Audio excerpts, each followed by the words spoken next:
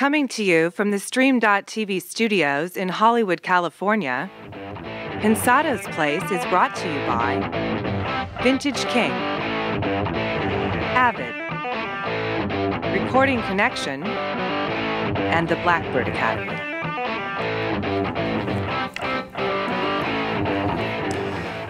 Our returning champion is of Drumbrella fame. You know who that is. we got a big announcement, a brand new ITL. Hark the Herald Angels sing. You're at the place. it's Pensado's place. oh, oh, oh, oh yay.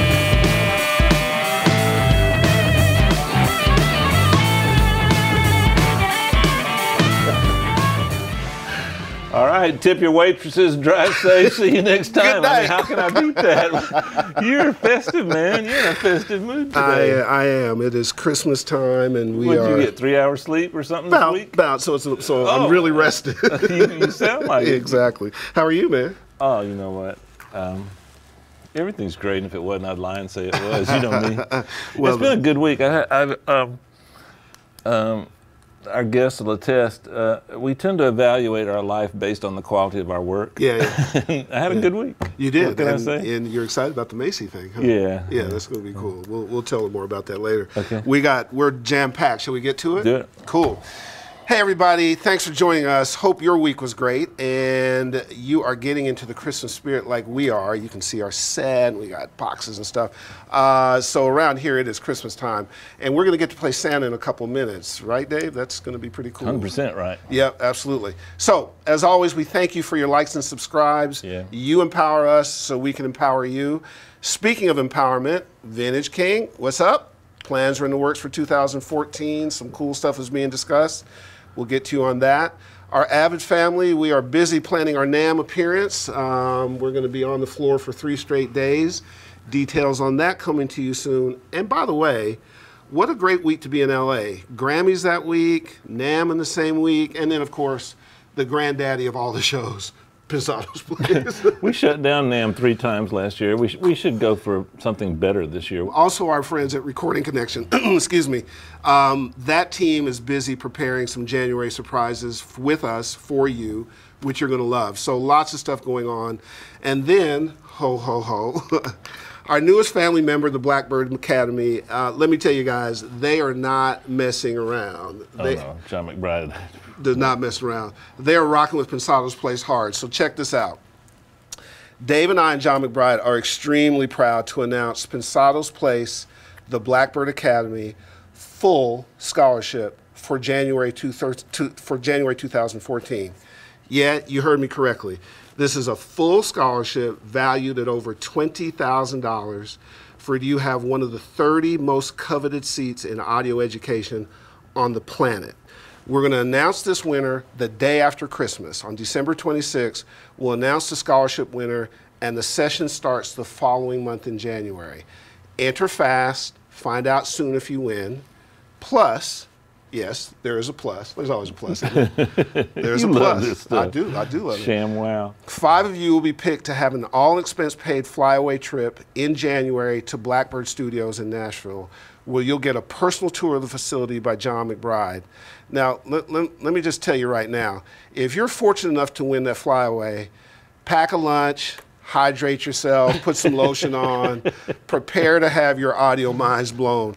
Your meter is literally going to peg. It happened to Dave and I, correct? Yeah, it was fun. uh, you you will absolutely enjoy this. Trust us. So those five winners will be announced sometime in January, and the trip will be in January. So additionally, once all that is unpacked. Our Pensado's Place Nashville correspondent, Stephanie Spitfire Willis, she'll be on hand to interview the winners for a special segment on your experience, and we'll air that on a future episode of Pensado's Place. So let's let's put it all together. One winner, full ride, $20,000 scholarship, announced December 26th. Five winners to be picked for an all expense paid trip to Nashville with a personal tour by John McBride, plus a segment on Pensado's Place. How do you enter? Go to pensadosplace.tv forward slash blackbird. Put in your info, answer two questions, and you're eligible. It's that simple. Will has all the information on the page there. We will get those names week by week to the Blackbird Academy for them to process. So I'm telling you, Dave's telling you, hit it and hit it hard. Real quick thing, Dave, talk about opportunity and when it comes oh, up man, in your if life. You, if you watch the show, which I hope you do, uh, one thing you notice about every guest, their their their opportunity came and they jumped on it. There was no hesitation. It, it's better to take an opportunity that looks good and, and change later than to bypass one. There you have it. You've got a great institution. The Yeah. tuition is erased. It's taught by extraordinary teachers. You get superstar guest lecturers inside one of the greatest recording facilities that exist. It doesn't get much better. It doesn't get much bigger. And we, we're just thrilled to announce that winner the day after Christmas, December 26th. Don't have to wait on this. So, ho, ho, ho. Actually, it's probably ho, ho, expletive deleted ho, right? PensadosPlace.tv forward slash Blackbird. Absolutely rocking, and uh, it's going to be great. Yeah. Uh, before you introduce the IT, ITL, really quickly, um, your response to the Pensado Awards has been nothing short of amazing. We've got folks from all over the community coming together and more and more engagement. Uh, we literally have heard from folks in Russia, we've heard from TV reporters, pros like Greg Wells and the, and the aforementioned folks, Tony Maserati and Young Guru have reached out. We've heard from YouTubers, and most importantly, we've heard from you. And we're all we're going to make this a level playing field. So we thank you so much. Let's, this show is your show. We're going to put it on. It's for you by you. Uh, will is putting more and more fun rewards on our page. So go to fundanything.com forward slash pensado. Check in there. Huge undertaking. Gonna be special. Dave and i thank you so much for your help plus get yourself some merch for christmas Yeah, yeah. lots of stuff for this christmas we're happy to bring all this stuff to you let's party with it david Yes, introduce our friend. ITL. It's a short ITL this week, but a good one. Uh, I picked a bad week to run an ITL on guitars with Eric here, but I'm pretty proud of it. Check it out. Uh, an ITL back or two, I showed you um, this song, What's Your Fantasy by Gayla Brown, um, my friend Patrick Smaja. I really love what I did on these guitars, so I want to show you uh, what I did on these guitars. See if you can find anything in here you, that you might apply to your own situation. So here's the guitars.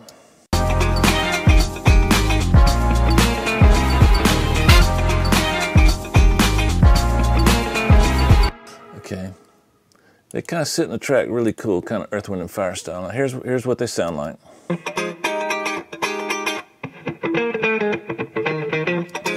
Okay, so here's what I started with.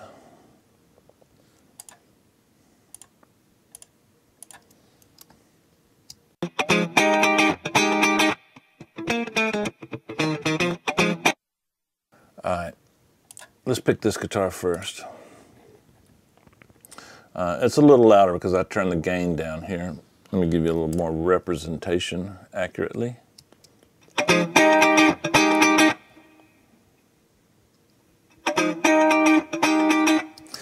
Smoothed it out, took the frequencies that fit in the track nicely. So let's just check this guitar in the track.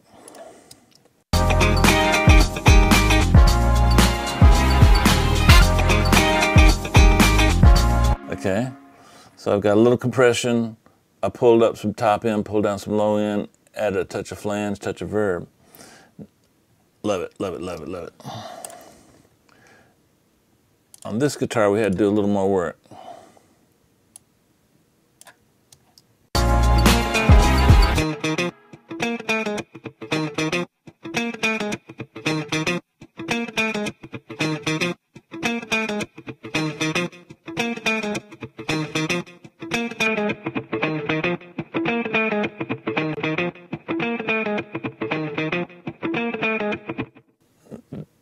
This plug-in, Colin McDowell's uh, Chrome Tone, very underutilized plugin. I use it a lot. I'm adding a little chorus. A little amp.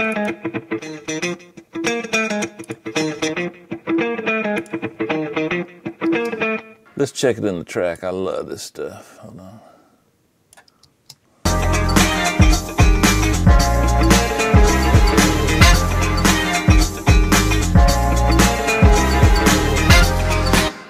Concept here is trying to create a space for the guitars to sit where they can proudly be rhythmic and, and, and add to the groove, but but without stepping over a lot of the other elements. We've got a Rhodes going on, we've got some other things going on, some horns. So, and then when the vocals come in, we've got to have a little spot for those. And um, plenty of ways to do it. This is the way I did it. All right, guys.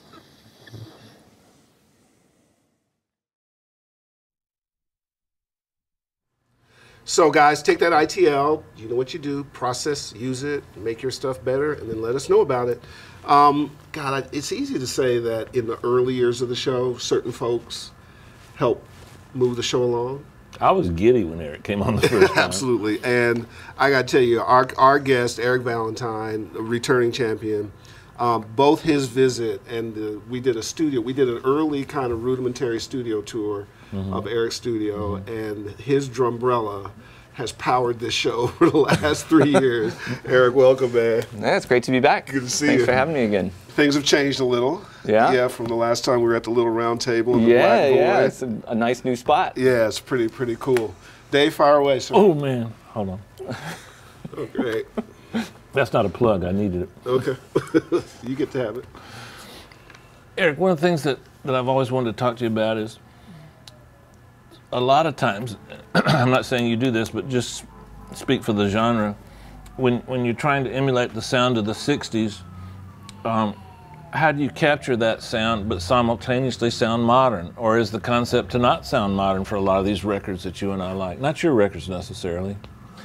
Um, I mean, I love the sound of, of 60s recordings, and, and, um, and it's definitely been very influential for me. I've definitely sort of injected that in a lot of projects that I work on. And, you know, for me, like, I, I don't want to just try and exactly recreate a, a, recording from the 60s that's already been done. Mm-hmm. I, there's there's things about the sound that I find very appealing. I want to try and incorporate that into something new in a new way. Mm-hmm. And for me, the biggest difference between contemporary recordings and, and recordings from the 60s is definitely the low end. Like the amount of low end that you could have in a in a recording back then was just it was just significantly less. I mean, the vinyl just wouldn't wouldn't be able to, to handle it. And so um, the, the whole the overall frequency spectrum was just narrowed down. They didn't you, you couldn't extend as high in you know in the high end. You couldn't get as far down in the low end.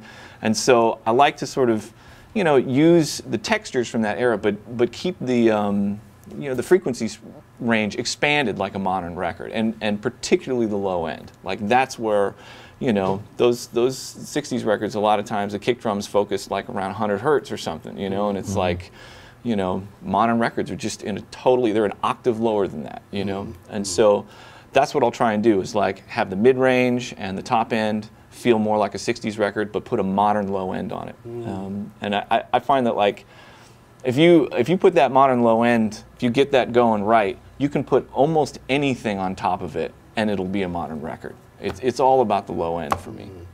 Gotcha. Sometimes, sometimes here again, I'm not talking about you. Just want to get this off my chest. But sometimes I feel like people are trying to emulate the sound of the older records because they don't have any ideas to make a new modern record with. Right. so, so, you can always go back and copy the Beatles if you can't think of anything new. Right. But but one of the things I like about your records is you you simultaneously pay respect to the music that you grew up loving, but I never feel like I'm not listening to a modern record. How do you accomplish? Well, you just mentioned a couple of ways you accomplish that. Is it all in the EQ, or is it other techniques that you use?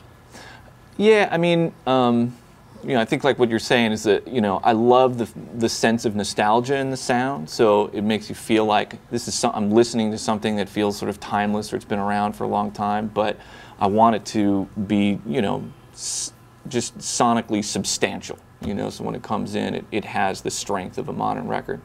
And so uh, you know for me a lot of that um, you know it just comes the way it's compressed the way it's EQ'd I mean it, it, everything always ends up coming down to that particularly the EQing like the, the more and more I do this the, the more I realize how important how important the EQing is and just voicing the instruments in, in a way where they're not fighting against each other they all complement each other in the right way so mm-hmm it feels like everything's up front. Nothing's getting buried because they're not fighting against each other, you know. Gotcha. Um, one of the things that, that I have trouble while I'm on this kind of bitchy mode. Mm. Um, I don't understand the concept of recording something on tape and then transferring it to Pro Tools. So you put it on tape because you don't like the digitalness, but then you put it on Pro Tools, which is digitalness. Right. How do you? That sounds like a conundrum to me. Yeah, it's a really good question, you know, and, and uh, I've, I've talked quite a bit about, you know, the difference between digital and analog and interviews in the past. And, and um, you know, it's been a real process for me, you know, having started on tape machines and uh, had a workflow that I was really comfortable with with tape machines and having computers, you know, become more and more a part of my workflow and just trying to figure out how to make those things work together. And, um, and, and honestly, it hasn't really been until the last few years where I feel like I'm actually finally settling on a workflow where the tape machine and the computer are actually really working together in a very seamless way, and I'm getting all the benefits of both of them. And um, so, with, with your point about going tape machine first and then computer, um, there was early on I, I felt like um, I felt like there was a degradation to to digital stuff, and I think some of the very early incarnations of digital converters and the lower resolution stuff was audibly, you know, degrading, you know, degrading the sound. And uh, I remember I had like one of the original like Sony F1 converters that worked Oh, with like wow. a like a Betamax machine, you know. Yeah. And, and they originally touted it as like this is generationless audio. You know, you can copy it as many times as you want. You'll ne- it, it never goes like, away. And it's like, no." man, you record back and forth two times, and it's like this thing sounds like Swiss cheese. Right. Like there's nothing left of this sound. And No so I think, to the Swiss. yeah, Or cheese. Oh, cheese. yeah, it'd be better if we were eating the results, I suppose. Um, and so I think that experience early on just left me really wary of like just the overall sonic performance of digital stuff. It's improved vastly since then. I think it's just a really, really different situation. I situation. think we're there. I know Yeah. you might disagree, but I think now you just choose what you like. Yeah, and so it took time for me to figure out that really what I was missing, what was unsatisfying for me with digital, wasn't that it was degrading the sound. It's that it wasn't enhancing the sound with the kind of harmonic coloration that I was getting from tape machines. Mm. Mm. And so that's what was really significant about the tape machines for me. Mm. Like, So if so if I if I made if I talked Dave Hill into making the perfect tape machine emulator, you would skip the tape, use the emulator. if and that put exists, straight I would use it for sure. and and I have lots of tape emulation plugins, you know, mm. and and I also have lots of the real versions of those tape machines, and I mm-hmm. compare them constantly, and they're incredibly close now. Mm-hmm. They're really really close, but still, and me and the engineers that work in the building, when we have opportunities to do it. And there are exceptions, but a lot of times when we'll put it through either my original Ampex 350 tube tape machine or an mm-hmm. MM1200 or the old Scully or a J37, and you hear the real thing happen, you're just like, it's not quite there yet. You know, I mean, it's it's really close. Have you played much? I'm sorry. Go ahead. I was going to say, are artists coming to you with preferences and in terms of the way they've recorded songs, whether the case may be, or are they letting, are they trusting you to sort of manage the process? yeah, uh, it's interesting. I, I have more young artists excited about working with analog tape machines than than you know older artists that really lived through it. right. you know, It's new for them, It was right. so funny. You know, like on the the uh, the first Slash record, you know, Lemmy was in there and. Um, you know, we were all really excited about, yeah, we're going to do this all on tape machines. And he's like, oh, that's the worst idea ever. I hated that. I love computers. You know? Well, you know, uh, gosh, you gotta love Lemmy. Yeah. It- the one thing digital does really well is vocals. You, I, Oh, yeah, I- for I- sure. Nobody can tell me you can do vocals as good in the analog world as you can on. You know, while you brought up that Slash record, um, I love that record. By the Sword is my favorite song on that record. Cool, yeah. Uh, you mind talking about that a little bit? Sure, yeah. The the. Do you remember the acoustic guitar? A Martin Uh-huh. sounds like a D18, D. Yeah, it's it was a Martin that Slash Slash owned, yeah. And um, how did you mic that? It, it, it, I think, guys, go check out the record Slash. The record's called Slash. The artist is Slash. The song is down in the middle of the pile. It's called By the Sword. Uh, Andrew Stockdale. Yeah, is the guest artist. I'm telling you, it's a lesson in how to get a great acoustic guitar sound. So teach us what you did. Um, sure, yeah. I think that one was. Uh, um, I actually did an MS on that one. So, I mean, there's there's really only three ways that I usually approach acoustic guitar. If it's going to be a mono sound that's sort of placed to one side or the other, um, you know, it's just one mic placed on the guitar. Um, uh, I do a stereo thing where I'll come above and below um, the sound hole, usually around the 12th, 15th fret, somewhere in there. And then the other one is MS, and uh, that one I'm, I'm quite certain was was MS because um, It sounds a little stereo-y. it, it does. And Stereo-y a term? yeah, it is now. It is now. Absolutely. and uh, MS, you have a lot more control over how how stereo it is, and it also has a tendency to sort of lean a little bit one direction or the other. And so the intro of that song.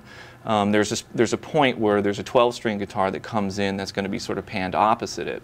And so the acoustic guitar starts off with a more sort of natural um, stereo placement where you can kind of hear it sort of leaning a little bit to one side, you know, uh, and you hear a little bit of the space around it. And then when the uh, you know the electric uh, 12 string comes in, I can lean it a little further in that direction. And so it's a more subtle stereo uh, effect than having two separate microphones that are like hard panned out. You know? Um, I was trying to formulate my, my next question. And did, did you say what kind of mics you used? Uh, I think it was a, 451s? no, it was a pair of 67s because I need Oh. the cardioid and then oh, that's Fig right. 8. Yeah. Yeah.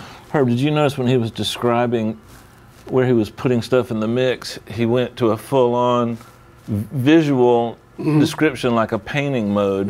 Is that how you think about constructing the mix? Because it, it was. Uh, rewind the tape and watch his face when he's describing where he's putting the acoustic in, in relationship to the 12 string and you, you, you really you really think visually when you're constructing the Sure, pan yeah. pattern. Yeah, I, I definitely want to like, especially with you know a really classic rock project like that. You know, it's like they were set up in a room. You know, Andrew was set up. He was playing 12 string. You know, um, we ultimately overdubbed the uh, the acoustic, but you know there is sort of a layout to how it's set up, and I So want you to be, started with that plan in your head? Yeah, for sure. Oh my goodness. Yeah. What a cool thing. On the record, when I don't know how to describe it, but man, it's like, um, it's just those moments you live for musically. When the whole band comes in, I had headphones on, and I set the level for the level of the acoustic guitar. Boom. and when the band came in, I was like, "Oh shit!" And and my wife goes, "Are you okay?" I'm like, "No, this is incredible, man." And you did it with your with your little Scully, and you did it with a, a couple of guitars. Yeah. Uh, And I'm sure the bass. I don't remember the bass to be candid with you. All I remember is those guitars hitting me, smacking me in the face, and the drums just smacking me in the face. What a great moment! You set me Yeah. up for that. Yeah. How much time, in, to your point, then, you must spend an enormous, an inordinate amount of time sort of preparing that picture and how you're going to, and your approach and your attack, right? Yeah, I mean, I usually sort of map out as far as like the stereo placement and stuff. Okay, we're going to have a 12 string, we're going to have an acoustic. Um, Slash is going to play two main guitar parts, and like where those are going to be placed in the stereo field, which one comes and goes when. So it's all going to work out, you know? But you also didn't leave room because most guys of your caliber and Dave's caliber always, I find, just like an athlete, leave room for that instinctive moment, for that character moment. It's it's not planned so perfectly that you you leave room for magic. Yeah, for sure. And and you know, I think some people I, I don't think planning ever inhibits the spontaneity for me. Mm-hmm. It's like I've found with bands like the more sort of rehearsed and comfortable they are with the parts that they know they want to play, and it's like, I know I have this, then it can free them up to do more spontaneous stuff. Yeah, if they're I not agree. really sure about what they're playing in the first place, then they're just trying to figure out what they're doing the whole time. that's so true. I never thought of that Absolutely. that Absolutely. way. But in a lot of the bands I've been in, going in front of a large crowd prepared is just the most fun thing on earth. Yeah. Going in front of a small crowd unprepared is just torture. Yeah, l- life without structure is dangerous. That's for sure. The guitar sounds are incredible. Um, so I guess we could slash the credit for that. But Sure, but You dispelled a couple of myths. Like the concept, especially the British guys, had us trained into thinking if you want a large guitar sound, you use a small amp. Right. But, but he brought in a stack as Marshall and just wailed away. It Yeah. was loud. Apparently, you said you needed to use ear protection just to just to be in the room. With the amps, sure, yeah. And and uh, 421s, 57s. Um, his main sound uh, on that record, we he had uh, uh, a couple of amps. Um, they were both modified Marshall heads um, that he was really fond of, and one of them had a, a, a brighter, sort of attackier sound, and one of them was a little thicker sounding. And so we always had both of those amps going, and I was just blending. You Were know. they vintage plexis or newer ones? Um, one was a, a modified JCM 800, Oh. but the other one was modified in a different way, where it was a little denser sound, but not as like a tacky Was he and playing? detailed sound. Was he playing through um, like greenbacks, like uh, or 25 watt? you uh, know? vintage 30s. Yeah, green, green ones. yeah. The Marshall Major cabinet was an old one or a new one? Um, I think we were using on the first album. I have to. I'm trying to keep clear between the first record and the second record now. Mm-hmm. Um, on the first one, um, we were using. I think his signature series cabs at that point. Oh, Cool. Yeah. Because one of the things I've noticed about Slash that I really, really, really, really like is that he's not a slave to the actual vintage gear. Like some, like like one of his favorite guitars is a reissue of a of a '59 Les Paul. And one of his Yeah. favorite amps is a reissue. I, I, I like the fact that he's uh, open to having new stuff that's as good as the old stuff. Yeah, I, for him, you know, what the sort of nuts and bolts of the technology is not as important to him as how it feels when he plays. And that's the part that he's extraordinarily tuned into. You know, he can turn on an amp and play through it for 10 seconds and go, yep, or nope, that's hmm. not it, you hmm. know? It's hmm. pretty amazing. He's really, really tuned into that. Just because Herb and I are the host and we have the power to kick you off the show, don't don't feel uncomfortable. Okay, cool. But He's so subtle. I felt like the drums weren't as punchy because you used the Scully. and- Okay. And, I felt like they couldn't compete with the guitars. And then I thought, well, it's Eric. Eric can do anything he wants, so it must have done, it must be on purpose. And and so it's a rock record. It's not a drum-driven record, but the the drums feel a little bit behind the guitars. And the third or fourth time I listened to that song, I felt that's where it should be. Um, am I FOS? Full of. I mean, uh, uh, the drum sound on that particular song, that, that's my favorite drum sound on that record. Like I said, they're incredible. That skull was one of my favorite machines ever. Please come back, Eric. On that way, of course, of course. So, You can stay. But you know, that's that's my, my personal taste. And I, I mean, I hear what you're saying. They're, they definitely, and uh, you know, a lot of that record is like that, where the drums were definitely desi- designed to sound more specifically vintage. You know, and and you know, the the Scully man, that is that machine has a sound to it. It's, It's it- the sound of the '60s. yeah, and um, and so a lot of times, you know, Stevens. you know, you can um, let the Scully do its thing, where it, you know, it definitely shaves off a lot of the transients, and the sounds get sort of thicker and denser. It, it, it actually has a beautiful high end. It's one of those tape machines where this after it goes through that tape machine, it sounds brighter and less harsh all at the same All at time. the same time. Yeah, it's really, really a beautiful sounding machine. Do you do you play on the records you produce when it's called Um, for? Sure, occasionally. Yeah, yeah. yeah. I wonder. do you still play just for fun? Um, I don't, I don't get a lot of opportunities to just play for fun, Right. but you know, if, if there is an opportunity for me to play, you know, on somebody's uh, music, it's incredibly fun. Yeah, I yeah. still love to play. Yeah, it's- yeah, yeah. It's great. On uh, on the drums, did you use your four mic technique essentially?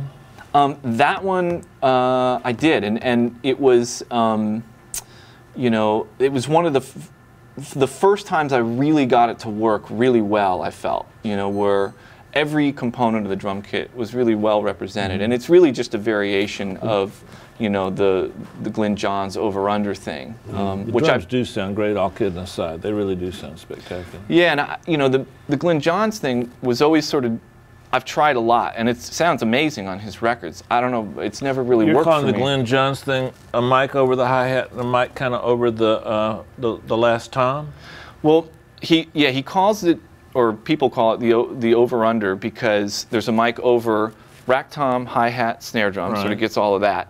And then instead of putting another mic up over here, it's down over here, looking across the floor tom at the snare drum, equidistant from this one. On right? plane with the hi with the, with the hi hat. Yeah, and so um, for me, I, I just I could never get it to work. Like this guy would always get too much hi hat, and it was just kind of a peculiar perspective for me. And so this mic ended up turning more this way, so it was sort of tucked in right next to the drummer. Hold that pose. That's kind of interesting. Yeah, it's like a, an Egyptian hieroglyph here I've We created. got some hand puppets, Herb. That Yeah. like an Egyptian. yeah, and so I was able to get this mic to actually look this more this direction across the, And the floor the, tom. the lower mic, what is that usually? Uh, it was both C12As on on this particular recording. and what pattern?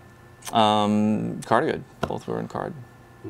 That's the Is, is, is, is what makes them work a, a manipulation of the phase between the two? um, Do you have to spend a lot of time having an assistant move a mic while somebody's playing the kit? there was definitely some fussing around with that, you know, and uh, you know Josh Freese is very very accommodating. He pl- he played those drums, and so. He's used to me at this point, and I'll put mics all in his way, and he just plays right around him. You know, he's he's awesome that way. It seems like recording that record was right around the time you were finalizing some betas on your EQs. Is that the first time you used the EQs on your drums? Sure, yeah. the- Really? Yeah. All right. Yeah, so the, the I had five prototypes of the equalizer done at that point. Um, there was no console in existence yet. Um, that record was mixed with just a collection of just faders that went to a, an individual summing amp, and then I borrowed a um, an EMI console for you know that had like I don't know what it was maybe 16 channels or something like that. So I had some extra EQ with that. And well, if you want cool. to call that EQ. Yeah, yeah it's a Couple of knobs Yeah, two controls. something. Yeah, but those cool compressors, you know, Yeah. that had those in it, um, and so I sort of kludged it together with with. Uh, Sort of what? that. What's that? Kludged. Kludged? What does that mean? That's stuff for us rockers. You know. Yeah. There's somebody laughing in there. Um, let's don't use the word dislike, but you must have been really unsatisfied with the tools at hand because you spent five years creating new versions of the same tools. Right. Why did you do that? Yeah, I, you know, I mean, uh, the, I, there was two main reasons. One of them was just the, the simple reason of just having having the tools that really had all of the features that I've, I've always really wanted and really felt like. So you love the sound of Class A electronics, but there were limitations in terms of like, Yeah, you know, typically Class A stuff has just very limited functionality. They're very broad brush, you know, let's, type let's tell the truth. You can't EQ a kick drum with a Neve 1073. It just ain't gonna happen. Not, not unless you're very lucky. Um, but Let the truth be told. yeah. Um, but yeah, you know, if um, if you really want to be able to shape a kick drum sound, you need something that's a lot more powerful than that. And so, you know, I, I would typically go to a, a GML EQ or these crazy uh, Orban EQs, which I know you're not a fan of. Can I tell that story? Yeah, after you got What's it. the model number of that piece of crap? Oh, a 672A last show. It's Eric Valentine. Man, I love his drum sound, so I go get me an Orban 672A. What a piece of shit. Man. Did, what, why, why did you make me do that? Why didn't you? I think he sent the whole world after one so he could have an advantage with his own EQs. Are you still using that It's a EQ? marketing ploy. Um, I, I, it has not been getting used. are you still using it? I'm, I'm not using the Orban anymore now that I got my. my, my, my- Man. yeah. I must have paid eight or nine hundred dollars for that piece of junk. That's hilarious, man. I used I used the crap out of that thing. It's all over. First Third Eye Blind record, all the Smash Mouth record. It's all over those records. Is it on Gives You Hell? My favorite record you've ever done. Uh, it is for sure. Sorry to Must be that. about in the hands of the craftsman. Okay, guys, when you see one on eBay, remember it's me. Pay extra money for it. Let's tee up batter's box and uh, throw a few pitches Eric's way. Lead vocal. Okay. Uh, 251. Oh, okay. Uh, lead guitar while we're on leads. Uh, Beyer 160. Ooh. Cool. Live bass. Um, uh, a, a Bock um, elliptical FET mic. Whoa. He's making that shit up. Counts. He's rounding the bases. okay, I'll take some plug-ins and some outboard gear too. Okay. Acoustic guitar. Um, acoustic guitar. Um, I, I got to go again on, on, a microphone. I have um, Schoeps 221 that's just become absolutely my favorite acoustic guitar mic. I'm using it all the time now. It wasn't good enough for Slash. I didn't have it yet. Oh, okay. Just check. Okay, piano. Um, piano. Um, let's see.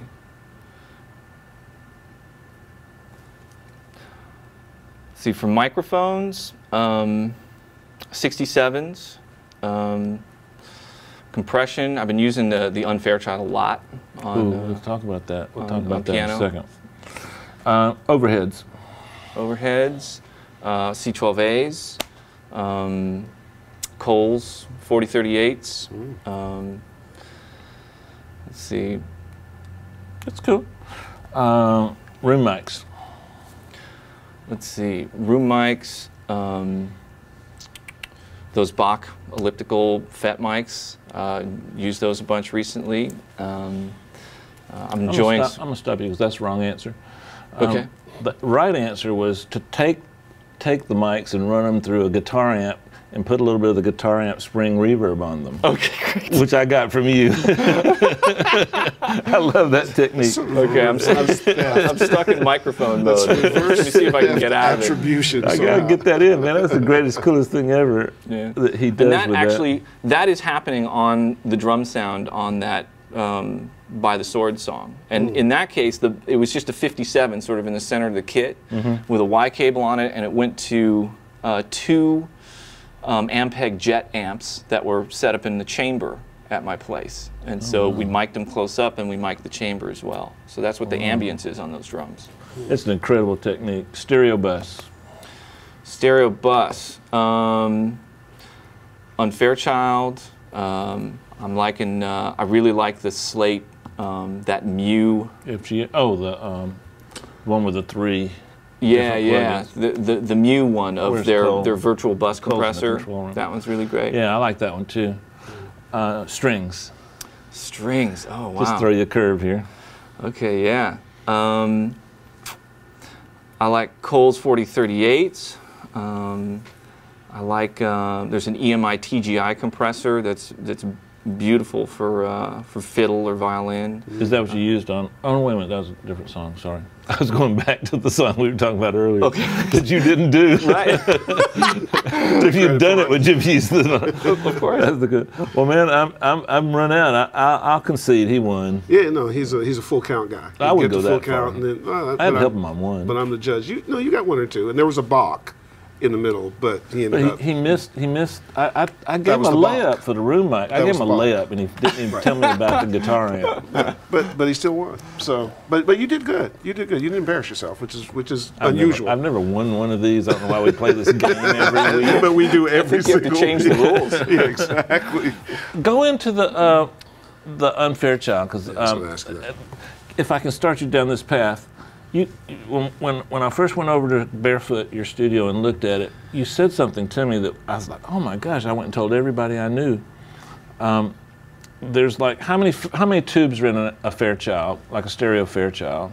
Was it 20 or 30? Yeah, it's a lot. I mean, there's there's four that are actually in the audio path, and then there's a bunch of other tubes that are in the sidechain path, and then the original one even had a tube rectifier in it. So there, there's a lot of tubes in it.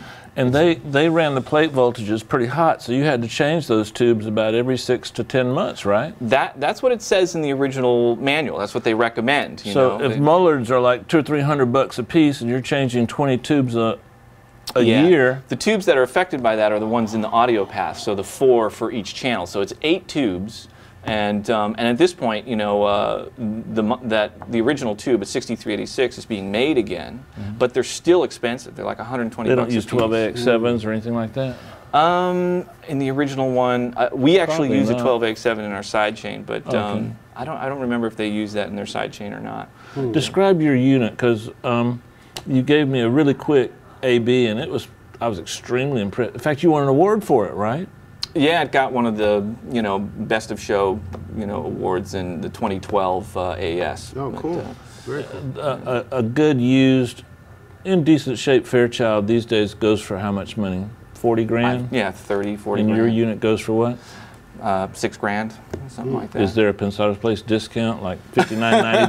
There will be. You know, um, we're. Uh, it's been a challenging unit. You know, I mean, uh, I really, really have been trying very hard to try and have this circuit available affordably for people. It's such a beautifully simple, brilliant design, and Larry helped, Larry was involved with this one, um, there's another gentleman that uh, has been involved with Undertone Audio. This, this gentleman named uh, Garen that um, that originally brought it in for me. He was servicing uh, my tube compressors and stuff. And one day he came by and said, I, "I made a, I made a Fairchild." And I was like, "Really? You made a Fairchild?" And he brought this thing in. It, it looked just like a Fairchild. I was like, "Man, you really made a Fairchild. this is crazy." And um, but he he made some really clever adjustments to the circuit at the time, and this was a, this was quite a long time ago when 6386 tubes were not being made, and so he made adjustments to the circuit to accommodate a different Varimu tube, this 6BC8, and those are much more affordable, and um, they they sound great. They're in a bunch of other old compressors, you know, like the the UA 175s. You know that uses Oh, a yeah. 6BC8. It's a great sounding compressor. And um, so, I, you know, I started playing with it, I was like, man, I love this thing. You know, this is, you know, not only, you know, a smarter way to do it, it, I, it does things that an original Fairchild never did for me. Um, the Fairchilds sound beautiful, but they're, they're, they're a very smooth sound, you know, and like this thing could get really aggressive in a way that I found very appealing. Does it have a mixed knob? there's no mix no mix knob on it, but it has um, you know a bunch more time constants. So instead of you know the original Fairchild really had position one and position two that are pretty great. That's mostly what everybody uses, and the other ones like the release time is so long that you know. The mixed knob question was, um, actually, I, that was a pretty good question because it reminded me, you, you don't like to put your compressors on the insert. You like to return them on another fader, right? Or usually, is that is is that what I'm hearing? Yeah, you know, I, So I- you wouldn't need a mix knob. Yeah, I, I can parallel stuff on the console, so it's it's not as important for me. And to do that, you know, um, we would potentially need another summing stage, another you know gain stage in the circuit. And my concern is that it would start to get a little too far away from The the original. the, original thing to, Gotcha. to include that. you know. Let's uh, bring in. We got some folks who are waiting with questions aggressively. Oh. let's let's questions. uh, let's introduce Chongor, who is s- literally nursing his headache because as I was unloading Christmas boxes before the show, my trunk hit him in the head. so as I looked in the rearview mirror, I just saw him stumbling backwards with Christmas boxes. So welcome, Chongor from Corner Office. You got some questions hello, for our hello. guest? Yeah, hey, we got- we don't have workman's comp. I figured it out. Damn it. Chongor, fire away, please. Uh, William J. Smith, what was the first album that caught your ear and inspired you musically and sonically? Ooh, good question. Um, I'm trying to think. The first time, I mean, the, the first records that I really got into actually were, were the the Monkees when I was really really young. Um, that was what really got me interested in music. But sonically, um, uh, it was definitely it was Led Zeppelin. It was like Zeppelin Four was the first time when I, I really realized like there's there's something really different about this. There's something really special about this record. There's something magical about how this record sounds. Chongor, give us another. Don Waxy, when will be there a, when will there be a plug-in emulation of the EQ on the Undertone console? Um, that's something uh, we, we really want to do, um, and uh, it's just it's it's just a time issue mostly. You know, it's like um, I'm, I'm trying to uh, you know get our, our original prod you know product. The, the MPEQ one is in manufacturing now. That thing's pretty much going. There's a Is it available? um, it is available now. There's a four-channel mic pre-unit. I'm trying to get that up and running in manufacturing. I'm trying to get the the Unfairchild up and running in manufacturing. Yeah. Once all that stuff is happening, then uh, then we'll we'll start looking at plug-in stuff. The output of, the, of your console, I'm sorry, I heard you real quick. The output of the console has tubes in it, so Sure. the stereo bus part of the, uh, that might be a good little standalone summing module too. Yeah, people have inquired about that, and um, it, it could be a really useful thing. You know, it, it definitely it, it's a part of the sound for me at this point. Gotcha. And, you know, because it's a it's a Class A circuit, it responds differently than than like an SSL would, where when you push an SSL, it starts to actually get a little cleaner. You know, when you really get it hit mm-hmm. that sweet spot. Mm-hmm. On on the undertone consoles, like when you push it, you hear it. You know, because the harmonic coloration goes up exponentially with the level, and so the closer you get to that clip point, you hear more and more stuff, more coloration come in. Cool. John Gore, a couple more. Si- Simon Milliman, with such a cool collection of mics, what's the most unique way you've used a type of mic or mic something? Um, well, there's a there's a few uh, a few interesting examples. I think um, there's uh, I wanted to get sort of an under underwater sort of ambient sound on a a Third Eye Blind song, so we filled garbage cans with water and put condoms over some 57s and put them in the put them in That's the water. That's unique. Yeah. Um, there's uh, Trojans? Um, I didn't I didn't pick out the condom. You didn't do it. That's the most important piece of information. You didn't test different condoms? Guys all over the world want to know which condoms you use. if Herb was managing you, you'd have a condom Oh, endorsement no, I'm thinking about doing it anyway. I'm going to call his manager and just work it out. one of the other things I really, really love doing um, that doesn't happen very often is um, I'll take a, uh, a small condenser like a 451 or something, put the biggest windscreen you got in the building on it, and s- spin it in the room while somebody's playing guitar or piano, and it has this incredible like Doppler sort of Leslie effect. Wow. It's it's the coolest Leslie effect you can get. And I don't want to hear any more of this stuff. Every time you think you're on top of your game, here it comes up, you go, oh, wow, I got a I ways to go. During the mix, when I'm playing it back for my client, I'll have Cole holding just spin anything. Just an iPhone and spin Cole just around the spin it, room right. on a rope. That's, Exactly, there we go. That's what we'll do. That's my job. Sean Gore, another one. Jonathan McMallen, what is the most amount of microphones you've used while recording a drum set, and did all the tracks make it to the final mix? There's some humor in that question. Yeah. Because he's known for four mics. Right. Say four, man, go home. Yeah. no, there was definitely, you know, uh, the my drum miking sort of evolved over a period of time, and um, as I was sort of accumulating more and more techniques that I liked, I there was a point where I was using them all, you know, and just have all of the options available. So probably the um, the Lost Prophets records was so, was like the apex of all of that stuff, and so there was like mics on the toms, there was like underheads, there was you know room mics in the big room, there were mics in the chamber, there was multiple mics for the kick drum, there were NS10s, like it was just an extravaganza of stuff. Does it sound better?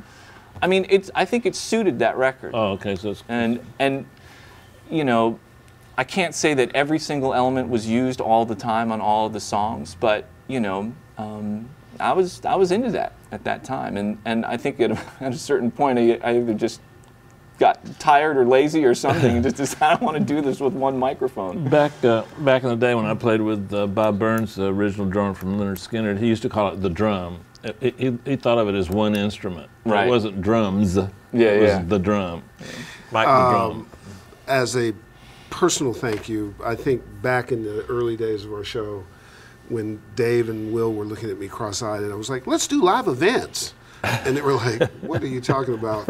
Uh, our guests for our first Mix Fest Yeah, was- were critical. We had done about 82 straight shows on Beyonce, so we needed some rock credibility. Uh, you joined us from Mix Fest, which Oh, launched a whole series and, and our ability to grow. Big thank you for that. Yeah. Mm, it's Um, my pleasure. We're also going to come by your studio apparently relatively soon Later and, in the and week. shoot another visit. Correct? Yeah, yeah. So that's going to be really cool. We'll, for- we'll, we'll go over a little bit of the gear that we're talking about. We'll have a, the right format and time to spend a little time, Cool. show you the equipment. Cool. Uh, not, a, not, a, not, a, not as an advertisement to buy it, but to kind of show you, although that will, that too, but just to show how a cat that really wants to see something done right goes about getting it done. It's pretty neat. And, and another thing too that, that was kind of cool to hear from you earlier.